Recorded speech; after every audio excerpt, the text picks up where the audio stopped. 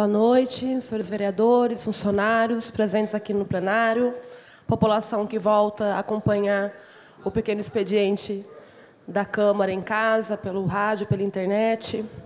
Antes, é, vou também pautar minha fala aqui falando um pouco sobre as eleições, mas eu quero, primeiramente, dizer aqui da minha tristeza e solidariedade, profunda solidariedade à família daquela mulher, da senhora que foi brutalmente assassinada nos últimos dias no Parque do Botânico.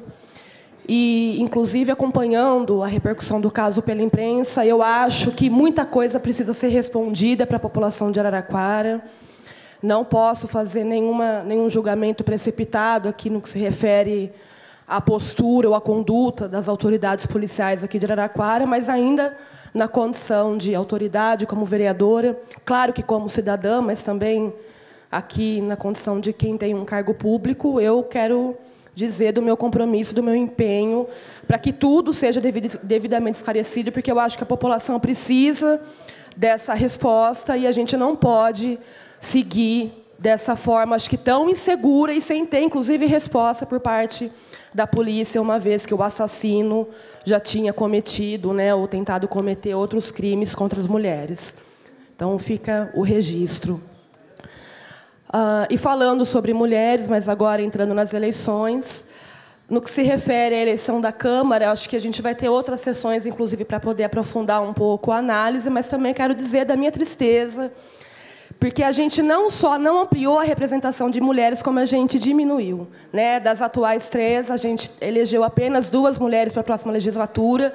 Eu acho que, do ponto de vista democrático, isso não é bom. Né? A gente precisa ampliar esse tipo de representatividade. Então, deixo aqui meus parabéns à vereadora Juliana Damos, veterana, e à Tainara Faria, que eu vou depois vamos confirmar aqui, mas eu acho que deve ser a vereadora mais jovem na história de Araraquara, que vem aí pela bancada do PT. Então, em nome de vocês, é, desejar muita força, muito sucesso, porque ah, o João Faria já me corrigiu aqui, que foi o vereador Carlos Manso com 18 anos, a Tainara está com 21, então acho que é a segunda mais nova da história, menina jovem, desejando a vocês, mulheres, sucesso na próxima legislatura.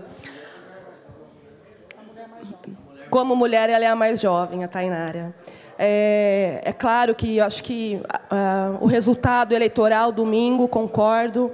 Eu acho que passa um recado, passa. Eu acho que a gente precisa fazer uma séria reflexão sobre é, o resultado das urnas. E eu acho que o primeiro deles que chama atenção, sem dúvida nenhuma, é um número altíssimo de abstenções, de votos brancos e nulos, uma parcela considerável da população de Araraquara que não participou do processo democrático. Eu não vejo nenhuma outra saída para o aprimoramento da democracia e, portanto, da política representativa, que não a participação do povo, que não a participação do cidadão, que não o seu envolvimento, de fato, com as questões da vida pública, e acho que isso é bastante preocupante. Então, que todos nós tenhamos a grandeza e a humildade de refletir sobre isso. E acho que também esse número alto de abstenções né, e de votos brancos e nulos, mas principalmente das abstenções, deixa aí uma carga muito forte sobre a próxima Câmara, o próximo governo, no sentido de é, trabalhar para tentar recuperar a confiança da sociedade na classe política, porque a gente não tem outro caminho que não a nossa democracia, que não a disputa, que não, que não a política. Né? Isso está presente na nossa vida, a gente gostando ou não. Só melhora quando a gente participa. Então, eu acho que isso é um elemento para ser pensado e trabalhado.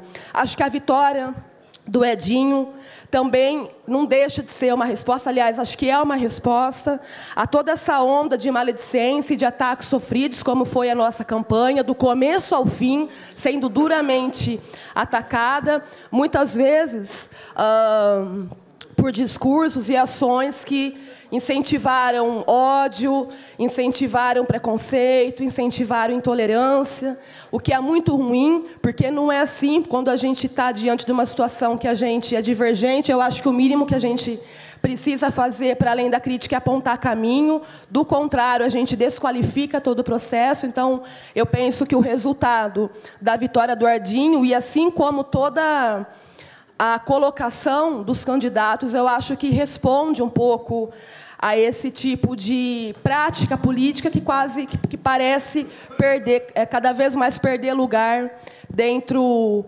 uh, da sociedade, e acho que isso é bom. A gente só melhora quando a gente qualifica. Eu acho que a vitória do Edinho prova também que ainda que a gente tenha um número grande de pessoas que se mostraram apáticas e muitas vezes hostis à política, mostra que a cidade de Araraquara tem garra, tem fibra e que a gente faz jus ao nome de Morada do Sol e que eu espero que em pouco tempo a gente volte a ser a morada da cidadania que uh, foi perdida. Eu acho que o PT leva lições que vão contribuir para o seu amadurecimento, na, na, medida em que a gente carrega muita contradição, muito fato que é plausível de crítica e é verdade, que isso sirva para nos amadurecer, para poder acertar onde erramos no passado. Né? Não são pedras, mas que a gente possa uh, saber aproveitar, pegar essas pedras e construir algo novo. Difícil, eu acho né, que é o não reconhecimento de outros partidos que também erraram e que muitas vezes não fazem autocrítica. Mas eu quero encerrar minha fala aqui nessa breve. É, nessa breve, breve, reflexão sobre o resultado eleitoral e dizer que, para mim, pessoalmente, e como e eu senti isso muito forte nas suas durante a campanha, a hora é de esperança. É de esperança, é de alegria, da possibilidade de escrever uma nova história na página dessa cidade e que essa história possa ser escrita com ética, com bastante humildade, que eu acho que a gente não, ninguém aqui tem motivo para estar no salto alto. Que a gente possa ter sonhos e planos renovados, porque isso nos motiva a seguir em frente de forma propositiva e de forma construtiva que a gente possa ter disposição de colaborar, a disposição de ser solidário, de dar o melhor de cada um e de cada uma, para que a gente tenha uma cidade com metas de cada vez mais igualdade e justiça social. Esse contato com essa, essa esperança, essa expectativa, isso foi muito forte. Quem. Ah, acompanhou a campanha Viu, foram mais de 70 reuniões em bairros, temáticas, virtuais. Então, assim, é uma campanha muito presente na rua. Eu acho que a nova legislação ajudou bastante a retomar esse espírito militante. O que a gente percebe é que ah, campanhas de grande estrutura não surtiram efeito nenhum. É, foi o trabalho de quem tem base, o trabalho de quem... É, de quem se articula em torno de minimamente de um projeto, foi isso que foi reconhecido, não foram como nas eleições anteriores, campanhas com grandes estruturas que saíram vitoriosa. E eu senti isso, eu que há pouco tempo atrás estava bastante desestimulado com a política, senti essa renovação, essa esperança pegou muito forte em mim. Em muitos momentos a gente se emocionou nessa campanha, teve muita coisa bonita que aconteceu. E eu espero, sinceramente, que é, o próximo governo e a próxima, a próxima Câmara Municipal possam, de fato, corresponder um pouco mais à expectativa das pessoas, para que juntos, né, sociedade civil, poder público, a gente possa ter.